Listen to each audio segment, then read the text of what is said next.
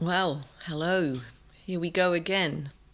Uh, we're thinking at the moment, aren't we, about how God answers prayers and times when He's answered prayers. And do you remember this wonderful quote that I showed you last week where it talks about prayer as being the greatest source of power known to human beings. Wow, doesn't that make you get a little bit interested in prayer? And to help us understand about prayer and receiving answers to prayer, we're looking at this amazing story of this girl who was born in North London about a hundred years ago, uh, and her name was Gladys Aylward.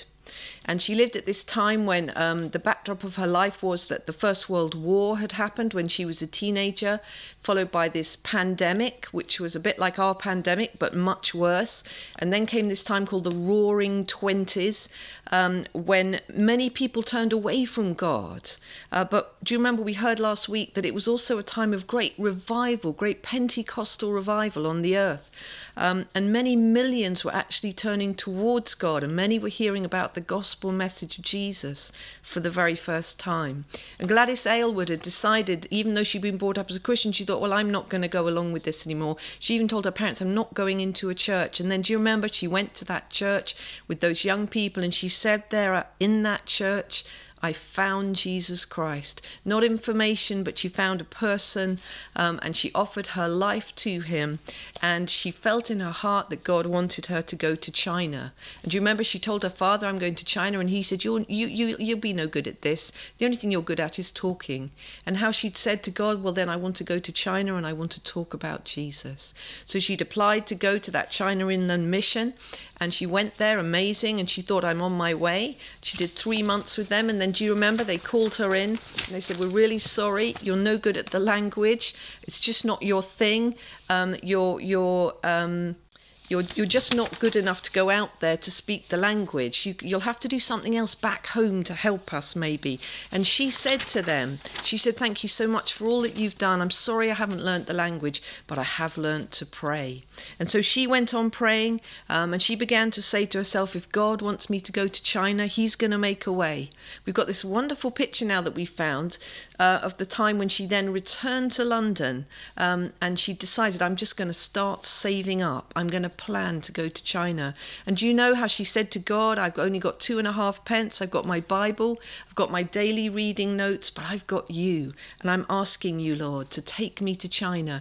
And then her employer almost immediately gave her that increase in pay and started to pay for her travel. Um, and she took that as a sign from God, and that's where we got to last week. So she goes on saving and she saves up three pounds. And then she feels kind of brave enough to go to the travel agent and ask them, How do I get to China? What does it cost? So she goes down to central London and speaks to a travel agent, and they say, Oh, well, if you go to China, you have to go on a ship. That's the way to get to China. It'll cost you 90 pounds. And she's thinking, 90 pounds? She said, That's going to take me years to save up. That's about 4,000 pounds in today's money. And then the man laughed and he said, Well, I mean, there is another way to go. And she said, Yes, tell me, tell me, I'll go the other way. He said, You can go on the train. And she said, I'll go on the train. He said, No, no, no, I haven't finished telling you. He said, it's so risky. It's a dangerous journey. And on top of that, there's a war at the moment between Japan and Russia. And so sometimes the railway isn't open. There's no way through across to China. Uh, it's too risky, Miss Aylward. And she said, Look, you're not the person taking the risk. I am. I'll take the risk, she said. How much does it cost? He said, It'll be £47. And so she decided, I'll save up. She said, Here's three pounds I've already saved. And every time I've got a pound saved up, I'm going to bring it to you. She said, Then strange things began to happen. Her employer started to say to her, Would you come out with me sometimes in the evening as my companion and I'll pay you to come with me? Other people offered her extra work. People began to give her things. Her employer gave her some wonderful clothes. A friend bought her a huge warm fur coat and gave it to her. Someone else gave her a suitcase and in just under a year she had saved up £47. Wow. And then what she didn't know was far out in China at that time, a woman was praying, another woman. She was praying in this northern area in a town called Yangcheng. She was praying, Oh God, would you send out a young person to help me? Because this lady was 73 years old. She was a widow. She was working as a missionary and she was desperate for someone to come and help her. So she too was praying and God was hearing her prayers as well. And through a series of circumstances, Gladys Aylward gets to hear about Mrs. Lawson and she writes to Mrs. Lawson and she says, I'm your person. It was like an emoji moment. She said, Here I am. She put up her hand. I'm your person. I'm going to come out. And Mrs. Lawson wrote back and said, Come, come to Tientsin and we'll meet you there. So she begins packing up her stuff. She doesn't have much money because she spent all her money on the fare. So she decides, I'm going to take all my food with me for the journey um, on the train. And so she takes corned beef and she takes biscuits. She takes hard boiled eggs. She takes a little stove so she can make drinks. Um, and she takes tea with her in a kettle. She takes a, a roll up bed and she takes some clothes. She takes no money apart from two pounds in traveller's checks because she thinks, well, I'm going to have all my money. I'm going to have everything with me, um, all my food on the way, so I won't need anything until I get to China. And so at 9:30 in the morning on October the 15th, 1932, this is about 90 years ago, she meets with her friends and her family at Liverpool Street Station um, and they wave her off, including the man who'd sold her the ticket from the travel agent who's become completely fascinated by this crazy young woman who's going out to China alone. So she goes on the train and she said she felt like Abraham going out and leaving his country, then on the boat, and then she gets to Holland um, and begins to travel across Europe. And on that first part of, the journey, she meets a young couple. And they said, We saw you at the station. What, Where are you going? And they, she said, I'm going to China as a missionary. And they said, We too are Christians. We know and love Jesus. We too are wanting to serve him. We've just been at a conference um, and we are going to pray for you. And the woman chatted with her and said to her just before she left to get off the train in Holland, she said, "We, I, am going to pray for you, Gladys Aylward, every night for the rest of my life. I'm going to pray for you." And she hugged the woman goodbye, and they wrote their names in each other's Bibles. And the woman said to her, "If I never see you on earth again, and I don't think she ever did, I'll see you up there. I'll see you when we stand before the throne." And the man shook her hand, and then she realised after they'd gone that in her hand he had left an English pound note, and she put it into her coat, where her mother had sewn various secret compartments inside her big fur coat so that she got her passport and all her stuff in there. And she put the pound note in. She thought, well, I'm not going to need that where I'm going. And then the train went on out across Europe. Uh, she began to feel quite alone. She couldn't speak the language. She didn't know what people were saying. Um, as she started to travel through, she went across Europe, then through Poland and out into Russia. And when she was in Russia, the stations became very crowded, very chaotic. She could see there was great poverty. It was in the years after the Russian Revolution, and there was chaos in much of Russia at that time. But she travelled on, and then she reached this area called Siberia, where there are huge snowy mountains. It was bitterly cold, and every now and then the train would stop, and all around them there were forests, and the men would just chop down wood from the forests and bring it in as fuel for the train so they didn't have to buy any fuel.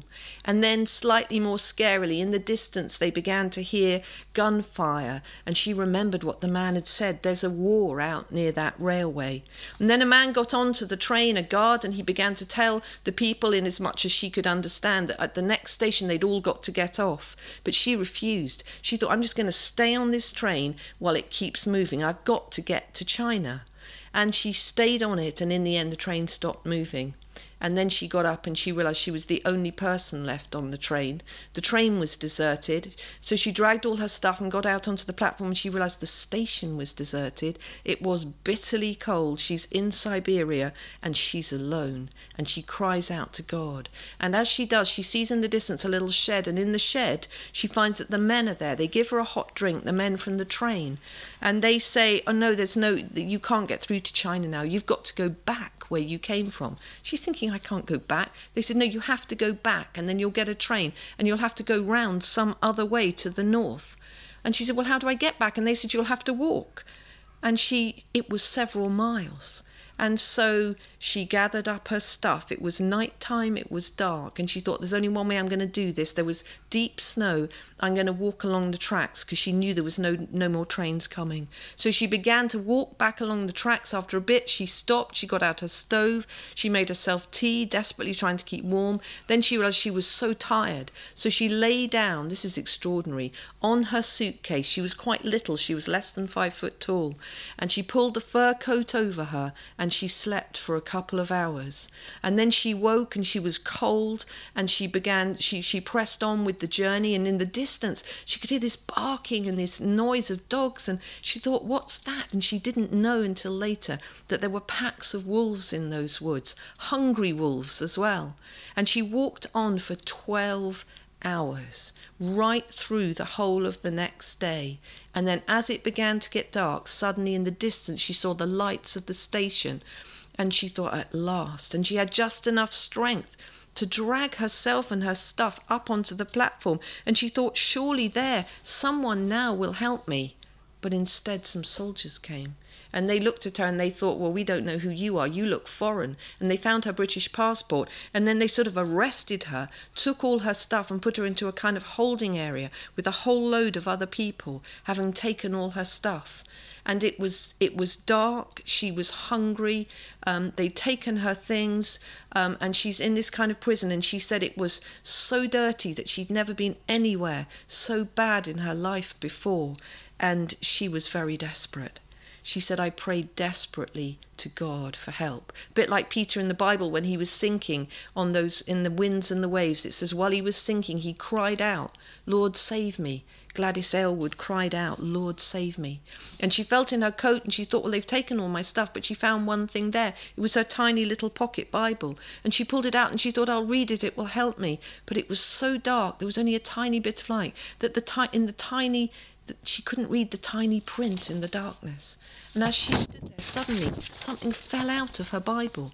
And it was a verse that she had written out, that was printed out on a big piece of paper uh, that she'd put in her Bible. And it was written in big dark letters, uh, bold letters. And she could just make out what it said. It was a verse from Nehemiah, and it said this Don't be afraid of them, for I am with you. Gladys Aylward, God was calling. Don't be afraid, for I am with you. She said she felt like it was a message coming from heaven, and it went right into her heart. And she thought, of course, he's still with me. This is a desperate situation, but he's still with me. What happened next? We're going to find out next week. Let's just pray. Oh God, uh, King of heaven, Lord, we worship you. God of Gladys Aylward, God of Hezekiah, God of Nehemiah, our God. We praise you that when we cry out for help, you hear our voice, you hear our cry. Uh, we thank you for that so much, Lord, today. Amen. Amen.